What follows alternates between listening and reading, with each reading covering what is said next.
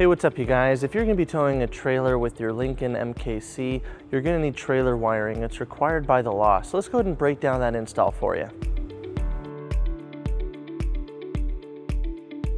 All right, we're gonna need to get behind each of the side panels. So we're going to start by removing the floor coverings. Next, we'll remove the spare tire.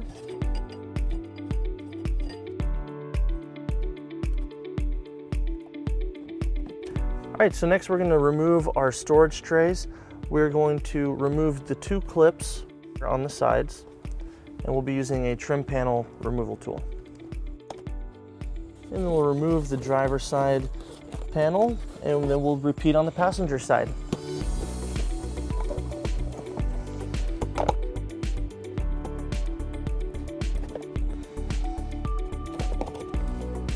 Next, we're gonna re remove our scruff panel and we're gonna start by removing these two push pins towards the center of the panel.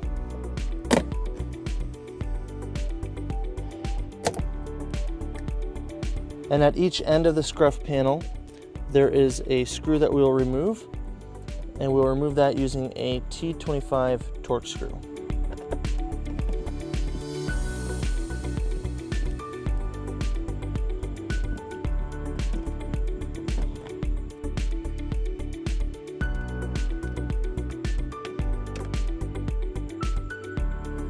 And we'll go ahead and pull up on the panel and we'll set it aside. Now on the driver's side, we're going to open up this hanger right here and there's a screw that is holding the panel in place. So using a T25 Torx we'll remove that.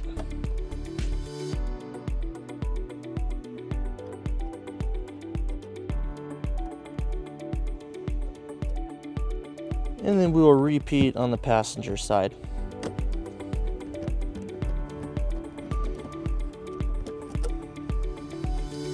All right, starting on the driver's side, we're gonna go ahead and pull back on our panel. We'll start at the bottom here, and then there's a clip right back here. So we'll use our trim panel removal tool and pop that out. And as you can see, you have that clip. All right, behind the panel, we have a loom of wires right here. This is where our, our wires that we will be needing is, are located. So we're just gonna unhook it real quick from its tab. So we're gonna pull out on it a little bit.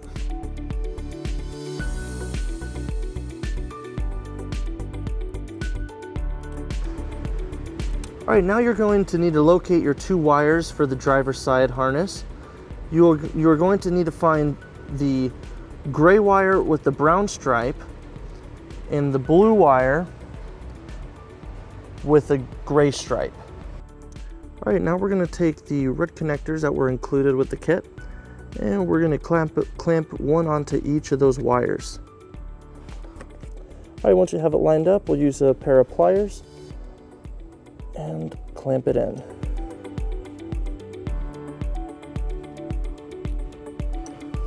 So we're gonna take the yellow wire and we're gonna plug it in to the connector on the gray and brown wire.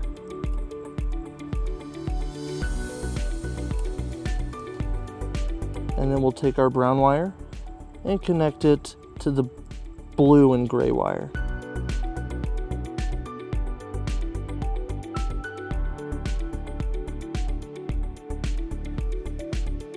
Now we're going to go ahead and ground our white wire to the side of the vehicle. And we're gonna use the included tap screw with a quarter inch socket.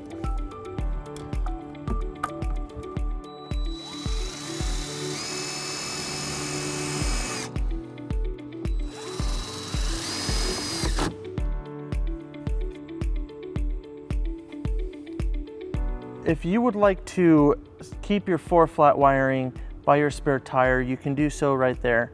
But we're going to bring our four flat wire down by the hitch to mount it right next to it. So we're going to go ahead and put it through this grommet that will allow us to bring it down towards the hitch.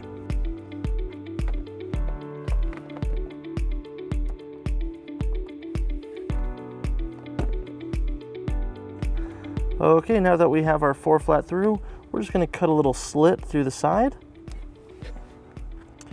And then we'll put our four flat wire through the slit and we'll put the grommet back into place. Okay, now with our four flat inside the grommet, we're gonna use some black silicone to seal that cut. And then we're gonna go ahead and connect our power wire to our black wire on the converter box. And we'll be using a heat shrink butt connector.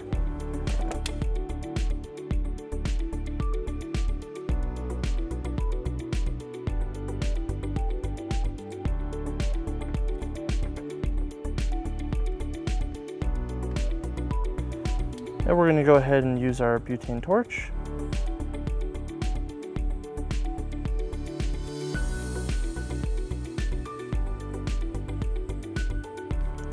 And we're just gonna take our converter box and tuck it behind.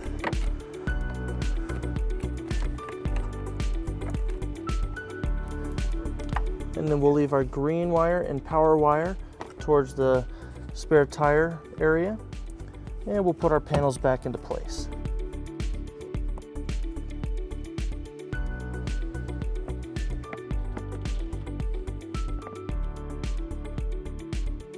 And now we're gonna open up the passenger side.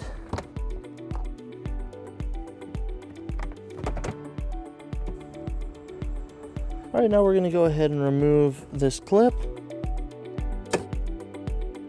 And then we're gonna pry open the cloth tape.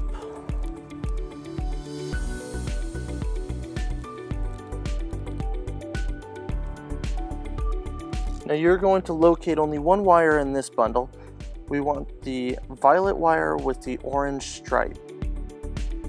And then we'll go ahead and put our connector on.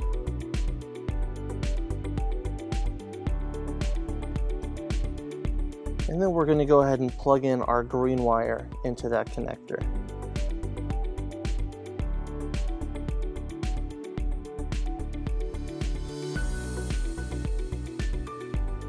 All right, so we're going to be hooking up our power wire to our fuse box back here on the passenger side. So we don't need this much wire, so we're just going to find an approximate length and cut it from there.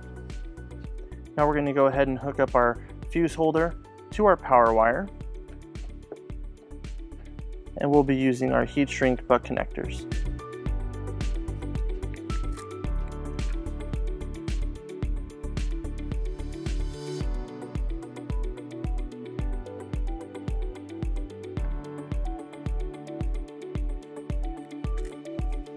And then we'll go ahead and connect our terminal ring onto the other side of the fuse holder.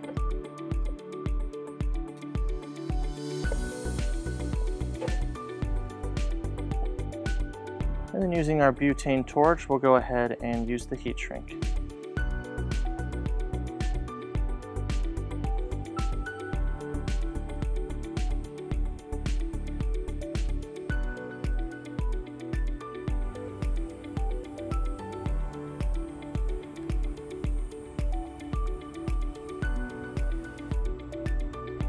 All right, now we're gonna go ahead and connect our fuse holder to our terminal on the fuse box.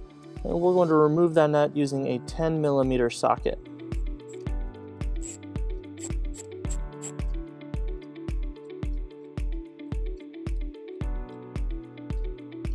And we'll connect our terminal ring. And we'll reinstall the nut.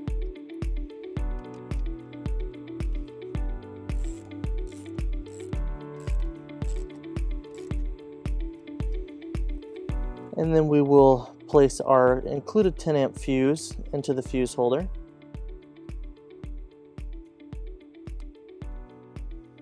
All right, now we're gonna take our extra wire and we're gonna tuck it up underneath this floor covering right here.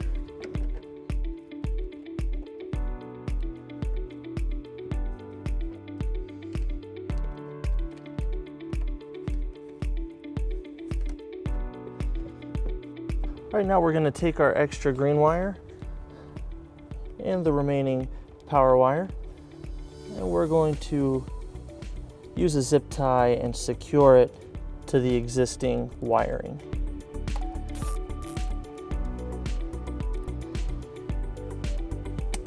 Okay, now we're gonna go ahead and reinstall all of our paneling.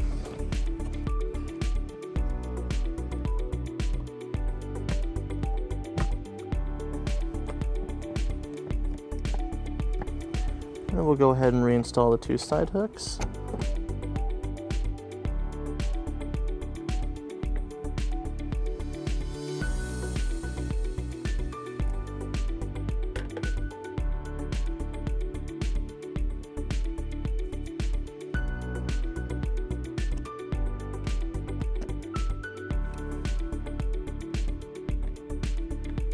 Then we'll reinstall the push pin.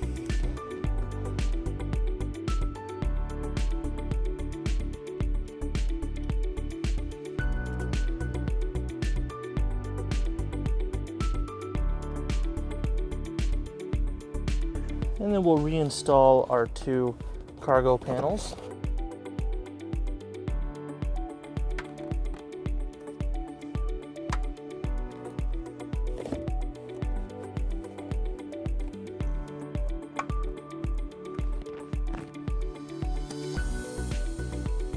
Then we'll put our spare tire back into place.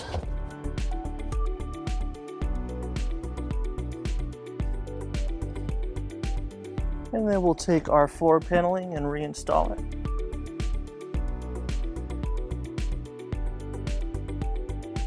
All right, now that everything is plugged in, we're gonna go ahead and secure our four flat harness.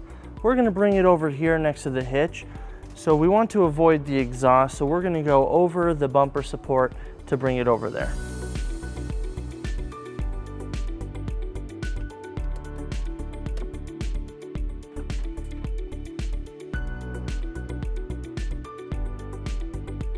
Using the bracket as a template, we're gonna go ahead and drill the two holes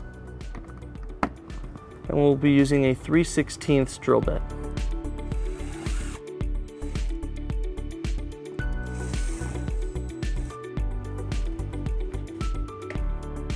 And we're gonna go ahead and put our screw into place. And then we'll go ahead and attach one side and we'll be using the locking nut.